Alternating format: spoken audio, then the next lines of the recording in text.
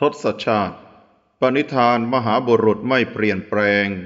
ชาติที่สิบพระเวสสันดร มหาชาติมหาทาน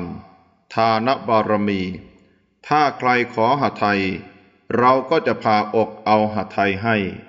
ถ้าใครขอดวงตา เราก็จะควักดวงตาทั้งสองข้างให้ ถ้าใครขอเนื้อในกาย เราก็จะเชือดเนื้อให้ ถ้าใครขอโลหิต เราก็จะกรีดเลือดให้ ถ้าใครต้องการให้เราเป็นทาสเราก็ยินดี ยอมตัวเป็นทาสเขาผู้นั้น ยานวชิระ พระราชจิตจาภรณ์เทิด ยานวชิโร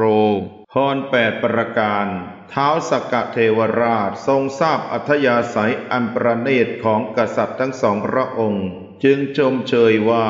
พระองค์ทั้งสองทรงชนะข้าศึกทั้งมวลทั้งที่เป็นของทิพย์และของมนุษย์ได้แล้วปัทภีบรรลือลั่นส่งเสียงสาธุการกึกก้องไปถึงสวรรค์ สายฟ้าก็แปรปราไปโดยรอบ เกิดเสียงโกลาหลประหนึ่ง เสียงภูเขาถล่มทลายหมู่เทพ ทั้งพระอินทร์พระพรหมพระประชาบดีพระจันทร์พระยม และพระเวสสุวรรณมหาราชต่างอนุโมทนาว่า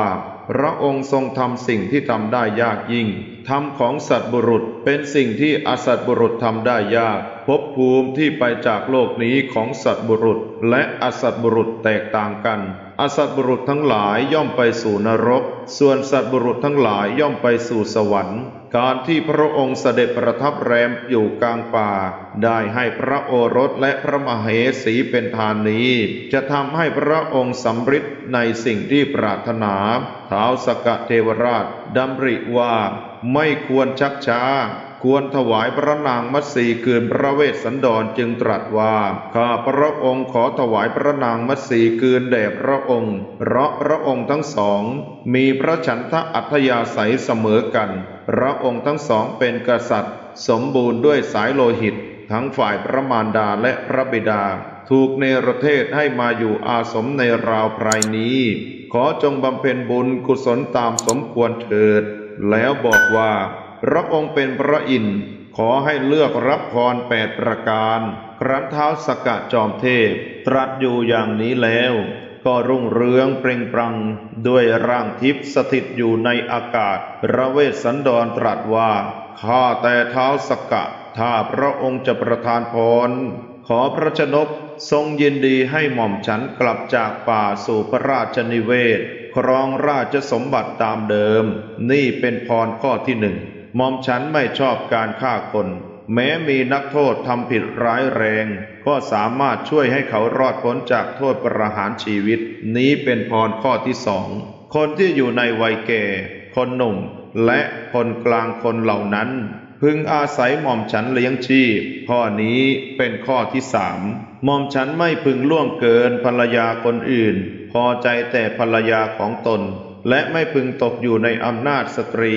ข้อนี้เป็นพรข้อที่สี่ขอให้บุตรของหม่อมฉันที่พลัดพรากไปนั้นมีอายุยืนจนได้ครองราชสมบัติ ขอให้เขาครองแผ่นดินโดยธรรม นี่เป็นพรข้อที่ห้า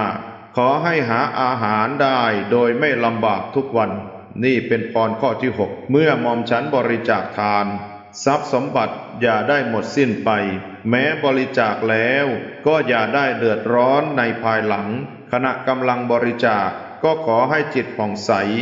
นี่เป็นพรข้อที่เจ็ดเมื่อมอมฉันตายไปแล้ว ขอให้ได้ไปเกิดในสวรรค์ชั้นดุสิตจุติจากสวรรค์ชั้นดุสิตมาเกิดเป็นมนุษย์อีกครั้ง ขออย่าได้เกิดอีกเป็นพรข้อที่แปดเท้าสกกะจอมเทพตรัสว่า ไม่นานนักพระบิดาของพระองค์จะเสด็จมารับพระองค์ ส่วนพระโอรสและพระธิดาก็อย่าทรงเป็นห่วงรันเท้าสกัดเทวราช ประทานโอวาทอย่างนี้แล้ว ก็เสด็จกลับทิพยสถานของพระองค์